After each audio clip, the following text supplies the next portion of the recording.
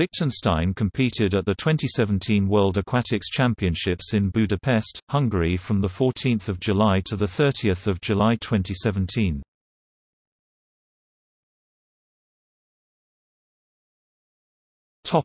Swimming Liechtensteinian swimmers have achieved qualifying standards in the following events up to a maximum of two swimmers in each event at the A standard entry time, and one at the B standard.